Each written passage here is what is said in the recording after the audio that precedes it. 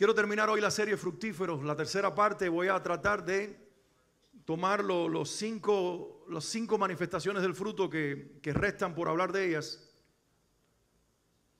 y voy a tratar de compartirlas con ustedes. Pero quiero empezar con, con esta frase del pastor y escritor Tim Keller. Y él dice, al menos que creas en el Evangelio, todo lo que hagas será por el orgullo o el miedo. A menos que creas en el Evangelio, todo lo que hagas será o por orgullo o por miedo. Las dos grandes motivaciones del ser humano, aparte de la fe en Dios y del Evangelio de Jesucristo, que es el que transforma las vidas, nos cambia la perspectiva y nos cambia la motivación. Las dos grandes motivaciones del ser humano serán o el orgullo o el miedo. Yo lo que he intentado durante estas tres semanas, con esta hoy, tres semanas, es que ustedes crean esto por medio de esta serie. Que ustedes crean en un Dios que cuando creímos en Él nos vino a impartir vida para que esa vida se manifestara en nosotros y que ya no nos movamos ni por orgullo ni por miedo, sino por el poder de Dios, el Espíritu viviendo en nosotros. ¿Cuántos dicen amén? Porque el Evangelio nos lleva a entender que muchas de las famosas virtudes de la vida cristiana y muchas de las famosas virtudes de los cristianos que la gente ve y nosotros hablamos de ellas y nosotros reconocemos en otros hermanos cuánto amor tiene, qué gozo tiene fulano, qué bondadoso es, oh, cuánta fe tiene esta mujer. A veces lo decimos, sí o no. Y hablamos de otro, reconociendo esas virtudes cristianas. Bueno, yo he tenido la intención provocada por el Señor de compartirles esta serie para que ustedes entiendan que muchas de esas famosas virtudes cristianas no, no son más que acciones provocadas por Dios, el Espíritu Santo, dentro de nosotros. Es decir, si alguien se quería llevar la gloria en este momento, yo quiero borrarte la espuma de tu cabeza, como dicen los mexicanos, bájale la espuma a tu malteada dicen los mexicanos, o a tu Coca-Cola. Cuando tú llenas un vaso de Coca-Cola, se llena de espuma y tú dices, tengo un vaso lleno. Espera, dale un segundo, que se vaya la espuma y te darás cuenta que está semi vacío. Ese es el orgullo humano. Esa es la vana gloria. Cuando nosotros pensamos que todo lo que están viendo otros en nosotros nos pertenece. Y Dios ha tenido la intención de traernos en estos días a escuchar estos mensajes para que veamos que si hay amor en nuestras vidas, hay gozo, paz, paciencia. Si hay benignidad o bondad o fe o cualquiera de estas manifestaciones, le pertenecen a Dios que vive en nosotros por la fe en Jesucristo. Eso debería hacerte darle un aplauso al Señor en este lugar. Yo, yo y tú, tú y yo, tú y yo, el burro adelante para que no se espante, me enseñaron. Tú y yo no, no deberíamos vivir dando por sentado el amor de Dios. Dios nos ama de gratis, pero nosotros no nos lo merecemos.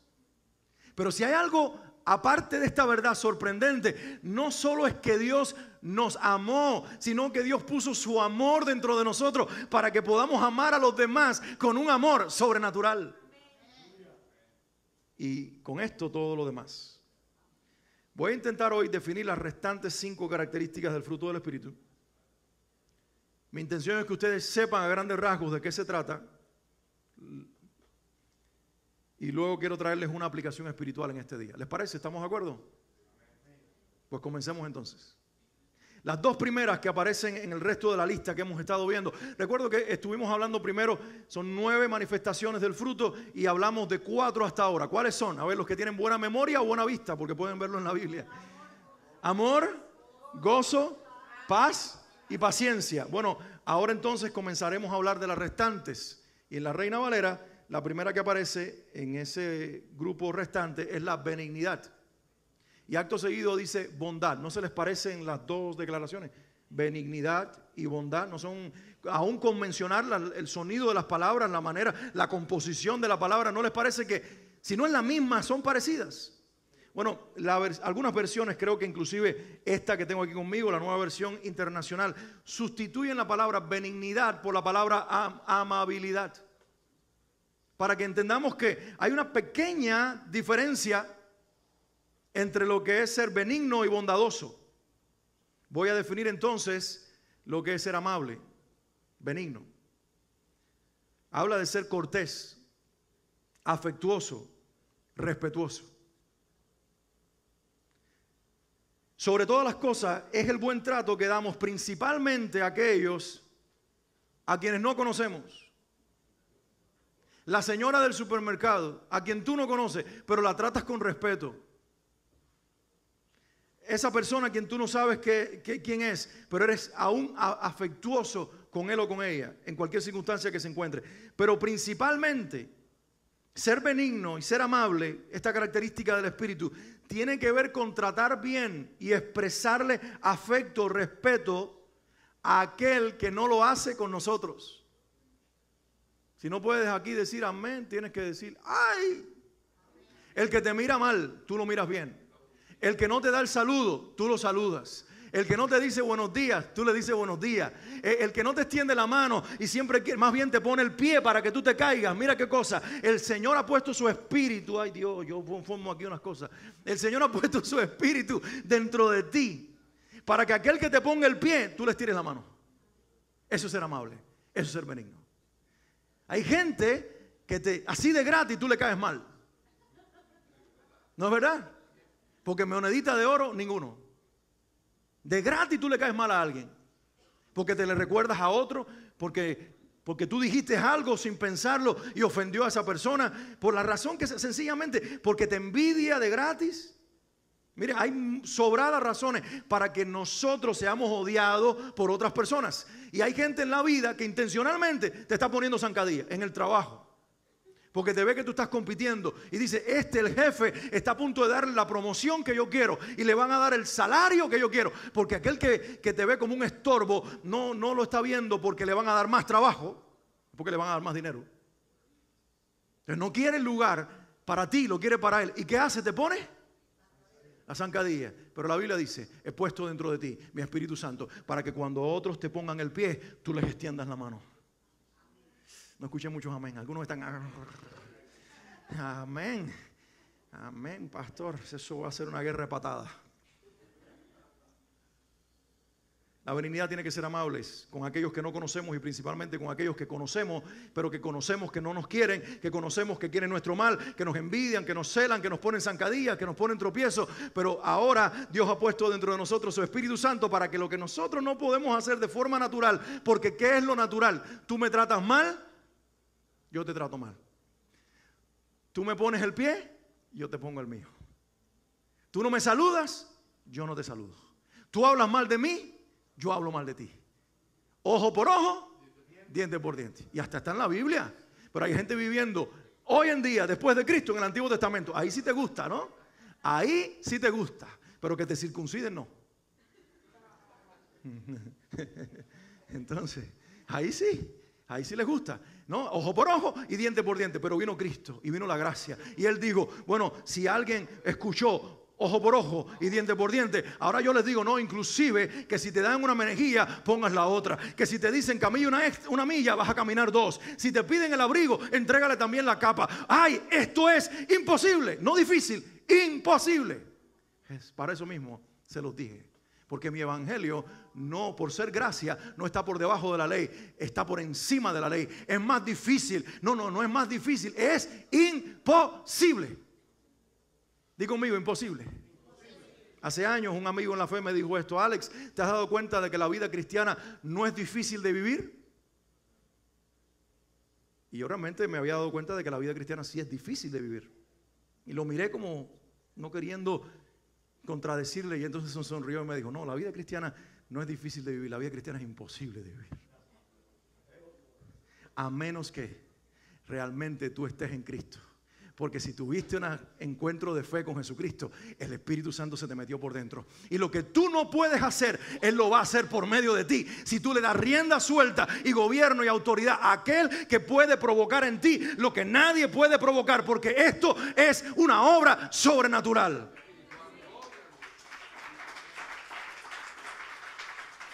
Por eso nadie aguanta en la vida cristiana intelectualmente. Aquel que creyó intelectualmente Jesucristo es Dios, estuvo en la cruz, murió, resucitó. Esto aguanta mucho, pero en la práctica no hay corazón.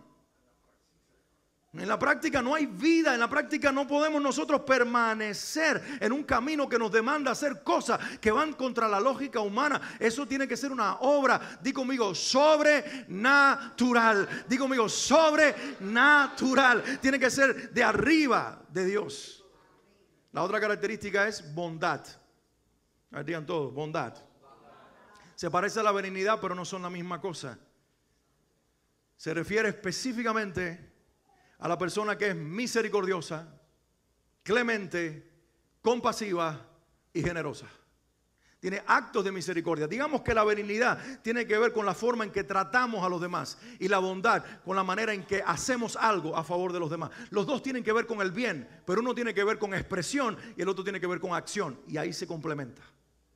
Porque tú puedes tener las mejores intenciones, tratar de la manera más amable a los demás, pero si no haces algo por las personas como un acto de generosidad, eres mediocre. Y Dios no está levantando una iglesia mediocre.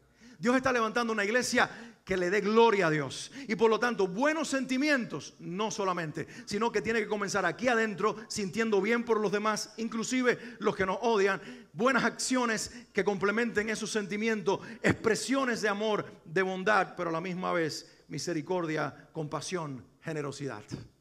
Amén. Estas dos expresiones del fruto, benignidad y bondad, que se interrelacionan y tienen que ver uno con la otra, las vemos manifestadas en una parábola que Jesús contó. Un hombre iba de camino a una ciudad y fue asaltado en el camino. ¿Recuerdas la historia? Y lo dejaron golpeado y casi muerto. Y entonces el pastor Alex pasó por el camino. Pero como estaba tan metido en los asuntos de la iglesia, ustedes, y muchas otras cosas más, ni lo vio. Y siguió de largo. Y entonces, después de cierto tiempo, venía Frank con un piano. Y también estaba tan metido las notas musicales, las canciones que vamos a cantar, que siguió de largo. Pero finalmente venía Alibaba. Para que ustedes entiendan, se lo estoy poniendo en perspectiva. Eso es lo que dice la Biblia con un samaritano. Hasta ahora no era bueno, solamente samaritano. Era un agente despreciable. Un hombre considerado bajo el sacerdote y el levita eran superiores. Pero llegó este, que nadie pagaba, dicen en Cuba, un kilo prieto por él. Nadie daba un centavo por él. Para que Javi pueda interpretar bien. Nada Nico. Porque después me dicen, ¿qué tú querías decir con eso? Entonces, y este hombre, que no valía nada, se detuvo en el camino, le curó las heridas hasta donde pudo, le puso aceite en las heridas, lo subió a su caballo, lo llevó a un hotel, le pidió que lo cuidaran, pagó por él hasta regresar y regresó para ver en qué condiciones estaba. Y dejó dinero para que lo ocuparan, se ocuparan de él y lo cuidaran. Eso es ser bondadoso y ser benigno. Eso es tener un corazón que está más enfocado en la gente que en nuestras actividades, que en nuestras tareas, que en nuestros compromisos, que en nuestra vida. Y eso solamente surge cuando Dios te saca de tu propio mundo egoísta y te, empieza a meter en su mundo. ¿Sabes qué curioso? Que siendo Dios un Dios que vive fuera de este mundo, Él está más metido en este mundo que nosotros. A Él le interesa más este mundo que nosotros. Su mirada está más expuesta aquí que la nuestra. Nosotros no estamos ni tan siquiera, mirando para arriba, mucho menos para el lado donde está el otro. Siempre estamos mirando para adentro. ¿Qué necesito? ¿Qué me falta? ¿Qué no tengo? ¿Qué quiero? Mi tiempo, lo mío, lo que yo quiero. Pero Cristo te trajo una vida diferente para arrancarte el orgullo, el egoísmo, la centralidad en el yo y comenzar a ganar la mirada de Cristo y mirar al que está caído en el camino, al que tú no conoces, con quien no tienes que ser generoso. Nadie va a verte porque esta persona está sola en el camino. Lo puedes dejar como lo hizo el sacerdote y el levita, pero tú tienes un corazón que late por esas vidas porque en algún momento tú estuviste donde él estaba y no se te va a olvidar jamás. Alguien lavó tus heridas, alguien pagó por ti, alguien te cuidó, alguien hizo algo por ti que te levantó y ese alguien se llama Jesucristo. Y lo que Él hizo por ti, ahora tú en su nombre lo comienzas a hacer por los demás. Una iglesia, aumenta en la benignidad y la bondad del Espíritu Santo cuando nuestro nivel de gratitud no disminuye, sino que aumenta. Cuando nunca se nos olvida quiénes éramos y dónde estábamos y de dónde nos sacó Cristo. Y cuando nos acordamos lo que Él hizo por nosotros, de dónde nos levantó, de qué miseria. ¿De qué, ¿De qué suciedad? ¿De qué basura? ¿De qué basurero nos sacó? Decimos, pues ahora, mi Dios, dame tus ojos y tu corazón para hacer yo las manos que levanten al que está en el lugar en el que yo estaba. Para esa es la bondad y la benignidad.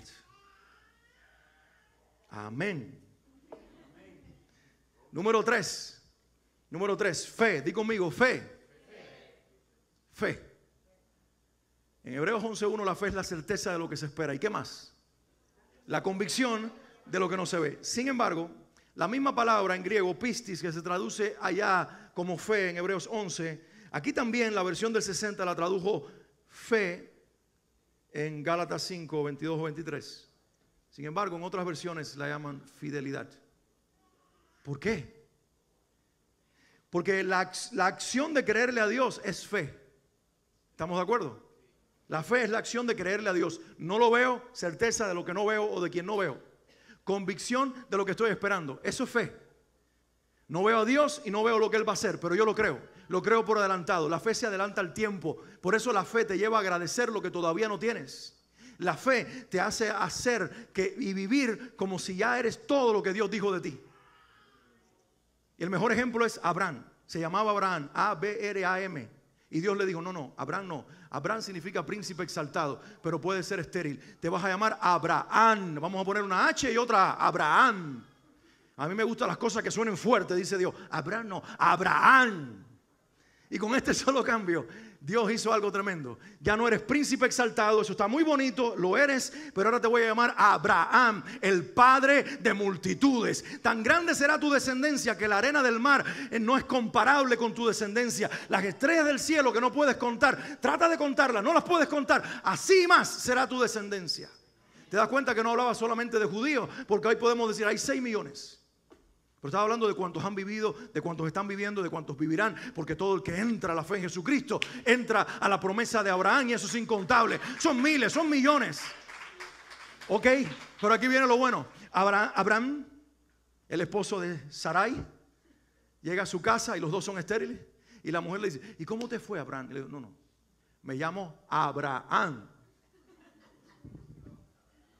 Y ella habrá dicho, y este loco, eso significa padre de multitudes, porque la fe te hace parecer loco frente a los demás, pero tú sabes que es mejor parecer loco frente a los otros, pero ser ante Dios alguien que le cree a las locuras del cielo, que llama a lo estéril a fertilidad y a lo que no es a lo que era. Porque dice de él, Romanos capítulo 4, no de Abraham, sino de Dios, que él es, no de Abraham, sino de Dios, que él es el que llama lo que no es como si fuera. Y cuando tú conoces a ese Dios, te conviertes en un Abraham que cree en esperanza contra esperanza. Y aquí viene el concepto de fidelidad que está en Gálatas 5, 22, 23. Porque la fe es la capacidad de creerle a Dios, pero la fe que persevera es fidelidad. Tú le permaneces fiel a Dios cuando tu fe permanece a través del tiempo. ¿Alguien está conmigo aquí? La fe que permanece es la que te da la capacidad de serle fiel a Dios. Porque tú sigues creyendo en lo que Él te dijo que Él haría y en quien te dijo que tú eres, aunque tu nombre no compagine con tu realidad temporal. Pero tú sabes que tu nombre no tiene que ver con tu realidad natural temporal, sino que tiene que ver con la promesa de Dios, que como es Dios y no miente ni se arrepiente, será lo que Él dijo, sí, pero que sí. Y eso te lleva a la fidelidad. Entonces la fe es la acción de creerle a Dios, pero la fidelidad es la capacidad de perdurar en nuestra disposición de creerle a Él, aunque las circunstancias nos inviten a hacer todo lo contrario.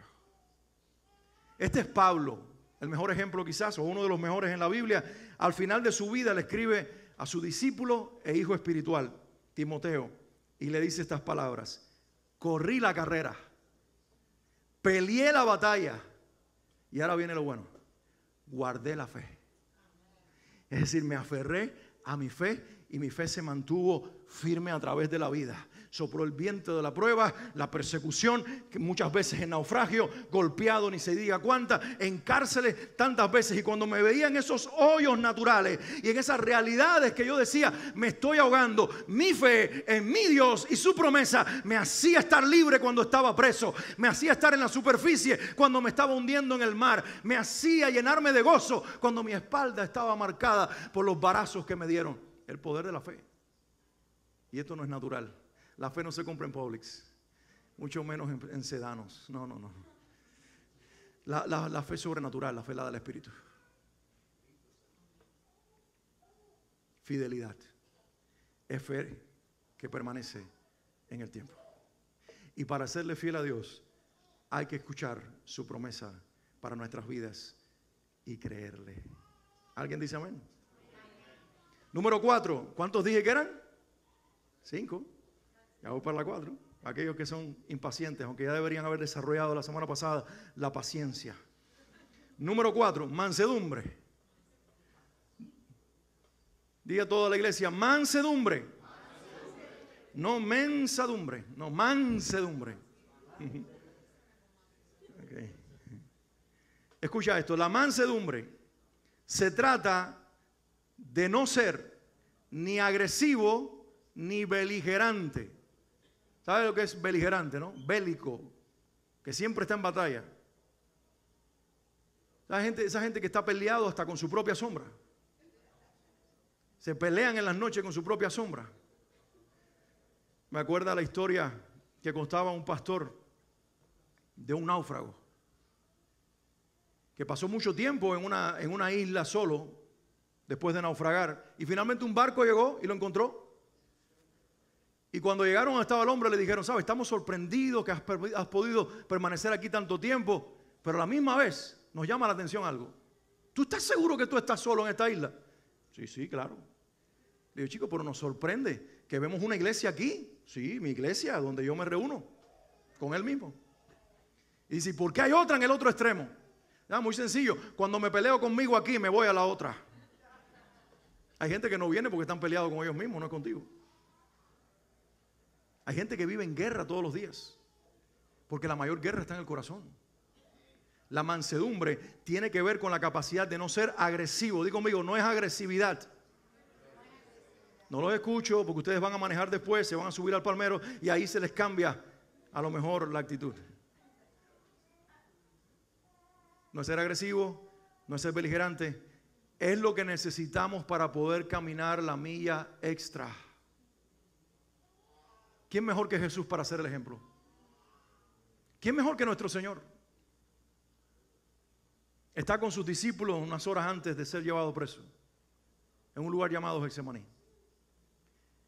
Y llega una turba de gente, posiblemente 100 o más personas. El que viene delante es uno de los doce, Judas Iscariote. Y cuando llega donde está Jesús, le da un beso en la mejilla. Y Jesús sabe con qué intenciones viene. Es más, Jesús sabe cuántas monedas hay en una bolsa que le pagaron para que lo entregara. Porque Él le dijo y Jesús lo escuchó porque es Dios. Al que yo bese en la mejilla, ese es. Y lo entregó. Y cuando le da el beso en la mejilla, Jesús le dice, con un beso me traicionas. Y escucha esto, amigo. Y eso es más fuerte que haberle dado un empujón, que haberse peleado con él. Entonces cuando él le da un beso, Jesús le dice estas palabras, inmediatamente vienen a aprenderlo. Y Pedro, que todavía no tenía este fruto, porque no tenía el Espíritu, sacó la espada, porque cuando tú no estás lleno del Espíritu, tú tienes que estar armado. Sacó la espada y le arrancó la oreja, al menos que se lo tenía que ver. Un pobre muchacho que lo llevaron allí trabajando, el siervo del sumo sacerdote, Malco, le arrancó la oreja. Y Jesús tomó la oreja del suelo. Me imagino que la sacudió porque aquello estaba lleno de tierra y de sangre. Se la puso se la devolvió, se la pegó, hizo un milagro. Y le dijo, Pedro, no. Porque el que es violento morirá de una forma violenta. ¿Acaso no sabes que tengo poder para hacer que mis legiones de ángeles desciendan a este lugar? ¿Saben cuánto era una legión? Mínimo dos mil. ¿Y la turba de cuánto era? 100, 200, ponle 300 personas. ¿Contra dos mil, seis mil ángeles? Tengo el poder de hacer que una legión descienda en este lugar y fulminarlos a todos. Pero no. ¿Sabes por qué? Jesús dijo que no. Porque la mansedumbre tiene que ver con el propósito. La mansedumbre tiene que ver con el propósito. La violencia tiene que ver con el orgullo. La mansedumbre tiene que ver con el propósito. Nos defendemos cuando nuestro ego es herido. Pero permanecemos en el mismo lugar cuando sabemos que esa persona que nos vino a traicionar y el otro que nos vino a prender y el otro que nos quiere matar están sirviendo a mi Padre que me quiere llevar a donde ellos me llevan. Porque no, nadie me quita mi vida, dijo Jesús. Yo de mí mismo la pongo. Pero no solamente eso, sino que así como la doy, la volveré a tomar. Tengo el poder para morir y también para resucitar. Para eso vine. Por eso permanezco manso. La mansedumbre jamás será igual a cobardía, a debilidad o a miedo. No lo confundamos. Hay gente que parece mansa, pero son miedosos, son cobardes, son débiles. Y se esconden detrás de esa apariencia para no enfrentar nada. Jesús no es ni lo uno ni lo otro. Es valiente, es poderoso, tiene autoridad. Pero hace lo que hace, se mantiene como se mantiene, porque tiene un propósito. La pregunta que Dios te hace hoy, ¿tú conoces cuál es tu propósito en la vida? Porque tu propósito trae a tus amigos y a tus enemigos. Porque tu propósito acerca a ti los que te van a bendecir y los que te vienen a maldecir. Tu propósito hace que vengan los que vienen a ayudarte y los que vienen a interrumpirte. Pero lo que tú no sabes es que muchas veces estos, tus enemigos, tus detractores, los que te odian, son los que más están sirviendo a Dios. Porque esos con lo que están haciendo te acercan más al propósito del Señor. Pablo está en un lugar con unos cristianos. Y viene un hombre, profeta de Dios, y dice, ¿quién es el dueño de este cinto? De este cinturón de cuero. Y todos saben que es Pablo. Y él dice, después de amarrarse con el cinturón, esto dice Dios, al dueño de este cinturón lo van a apresar, lo van a, a poner preso y va a ir preso. Y los hermanos le dicen, Pablo, Dios te está advirtiendo que no debes ir a Jerusalén.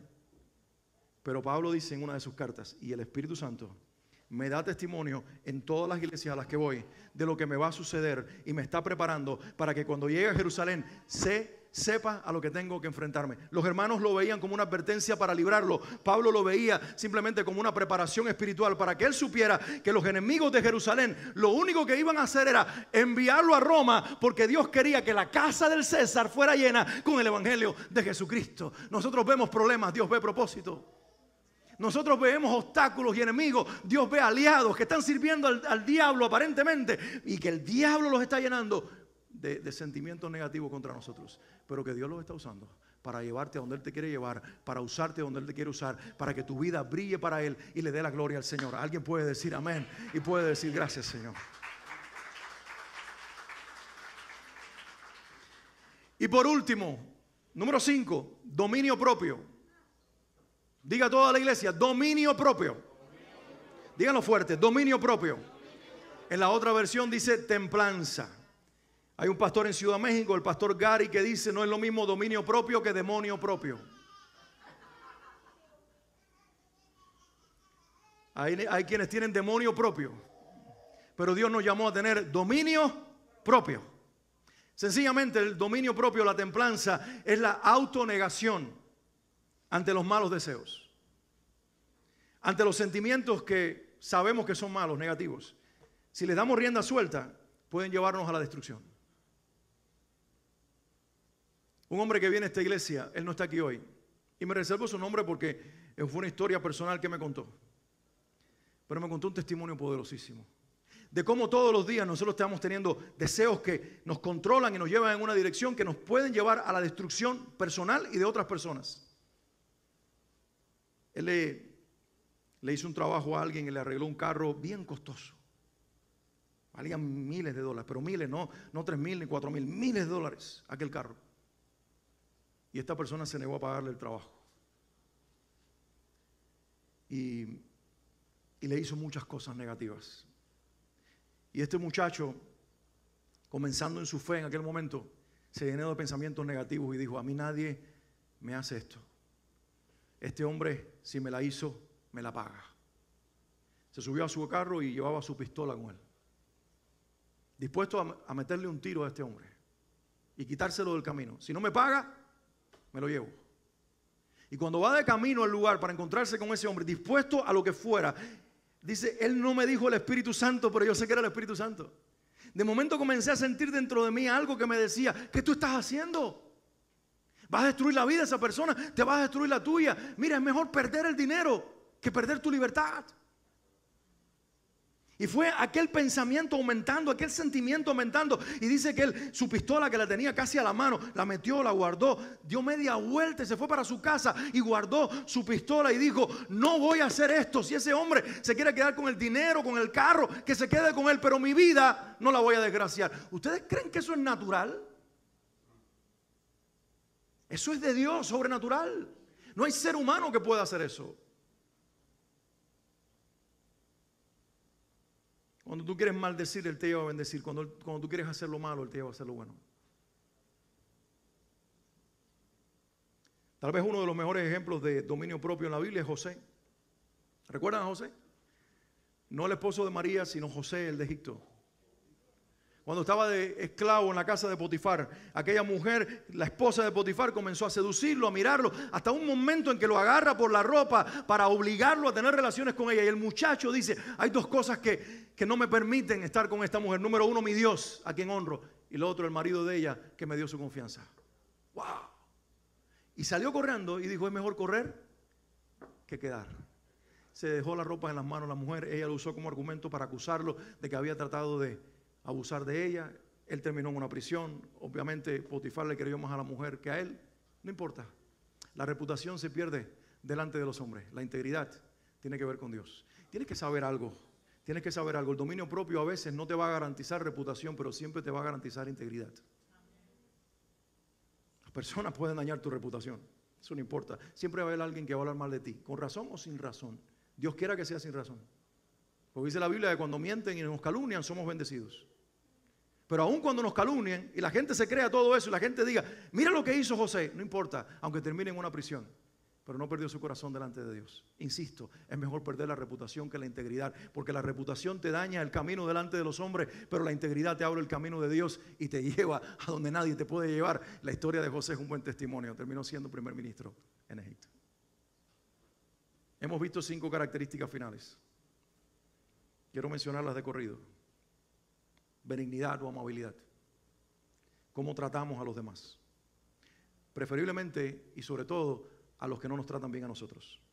Bondad. Cuán misericordioso, clemente, compasivo y generoso somos con los demás. Fe o fidelidad. Creerle a Dios, pero perseverar en esa fe sostenidos en una promesa. Mansedumbre. No agresivos, no beligerantes sino como Jesús, aferrados a nuestro propósito, permaneciendo en su voluntad. Y número cinco, dominio propio, templanza, autocontrol, autonegación, diciéndole no a aquello que aún nuestro corazón nos dice sí, por amor a Dios y por amor a su propósito. Hemos visto estas cinco características finales y lo que significan. ¿Lo tenemos claro? Sería bueno que si no tomaste nota, volvieras a ver esta prédica grabada que va a quedar tanto en Facebook como en YouTube. Porque esto que voy a decir ahora para mí es muy importante. Hay un peligro detrás de todo esto que yo he estado enseñando. Un peligro detrás de estas cinco o estas nueve características en total, incluyendo las cuatro anteriores. Desde el amor hasta el dominio propio o la templanza. Hay un gran peligro porque si nosotros lo leemos como simple característica que nosotros los seres humanos tenemos que desarrollar, de aquí saldrá una congregación de gente humanista centrada en nosotros mismos. No olvides que cuando Pablo comienza a hablar de este tema, no comienza con el fruto del Espíritu, sino que en el versículo 19, cuando él introduce este tema, comienza a hablar de los deseos de la carne. ¿Sabes por qué? Porque lo que nos es natural a nosotros no es el fruto del Espíritu, son los deseos de la carne. Lo que me es natural a mí es celarte, es envidiarte, es resentirme, es entrar en, en pelea contigo. Lo que me es natural a mí son las perversiones y todas las cosas naturales que están en todos nosotros, porque si hay alguno bueno aquí, no te vayas, por favor, necesito preguntarte cómo lo lograste. Porque yo no soy bueno. Mis reacciones naturales iniciales son las que están descritas en los versículos 19 al 21. Son deseos carnales. Ese es Alex el humano. Pero el énfasis de Dios ha sido describirnos nueve características que para nada nos describen a nosotros. Nueve características que describen a mi Dios y a tu Dios. Él es amor, Él es gozo, Él es paz, es paciencia, es benigno, es bondadoso. En Él hay mansedumbre, en Él hay fidelidad, en Él hay dominio propio. Él es todas estas cosas. Y lo que Pablo está tratando de decirnos a nosotros que nos será imposible practicar y manifestar estas nueve características del fruto del Espíritu si es que el Espíritu no está dentro de nosotros. Yo lo dije la primera vez, quiero cerrar con esto y este es el gran énfasis. El énfasis no está en el fruto, está en el Espíritu. Porque es el fruto del Espíritu. Y este artículo es posesivo, le pertenece al Espíritu. La pregunta que el Espíritu mismo nos hace a nosotros hoy es, ¿y tú me perteneces a mí? Porque si tu vida me pertenece a mí, lo que yo tengo será tuyo. No querramos producir amor ni ninguna de estas cosas. Porque, ¿sabes qué es lo que pasa cuando nosotros tratamos de producir todo esto por la vía natural? Que se desata el peor de los pecados humanos y el peor de los pecados cristianos. ¿Sabe cuál es el peor de los pecados cristianos? La hipocresía. Por eso la gente, si va a decir algo de los cristianos, es, son unos. Y a veces tienen toda la razón. Porque están tratando de producir cosas que solamente puede producir Dios por la vía natural para impresionar a las personas y para que la gente te alabe por todo lo amoroso y todo lo bueno y todo lo bondadoso y todo lo, lo grande que tú eres. Y al final somos grandes hipócritas porque en el privado de nuestras vidas sabemos que no somos nada de lo que vendemos.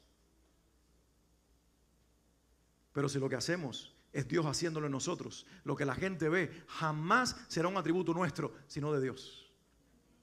Y si lo que hacemos realmente es genuino y auténtico y hay verdadero amor y verdadera paz, gozo, paciencia y todas estas cosas en nuestras vidas, mis hermanos, es porque entonces le hemos dado lugar al Espíritu Santo.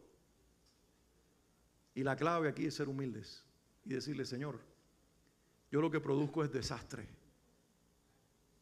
Yo lo que produzco es maldad. Yo te necesito en mi vida.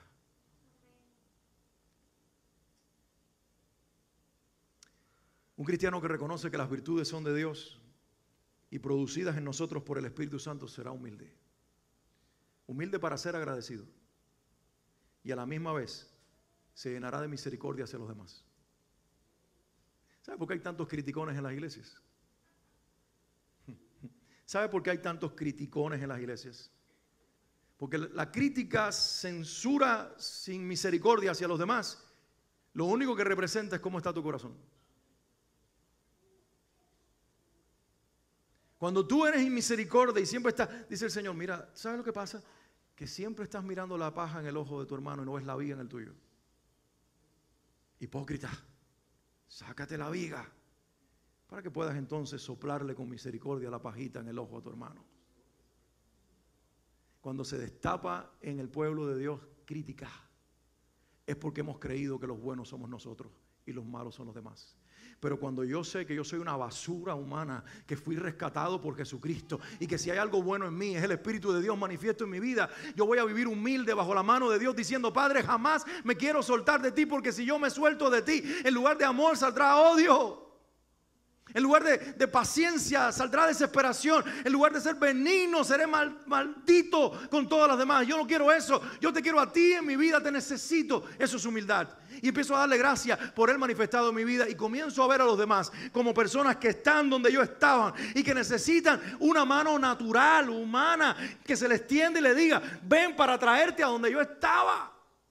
Y para eso es la paciencia. Que Jesús desarrolló por tres años y medio con doce hombres, once de ellos que terminaron siendo sus discípulos pescadores, cobradores de impuestos, religiosos extremos, a los cuales les tuvo mucha paciencia hasta el final, porque dijo, yo creo más en ustedes que lo que ustedes creen ustedes mismos. Y ese es el poder de Cristo en nosotros. ¿Qué tal si hablamos con el Señor hoy, cerrando esta reunión? Y lo primero que vamos a hacerle es regalarle, es agradecerle a Dios, mejor dicho por hacernos el regalo del don de la vida eterna, Jesucristo. ¿Quién levanta su mano arriba y dice, Padre, gracias por Jesucristo? Sin Él no tengo nada.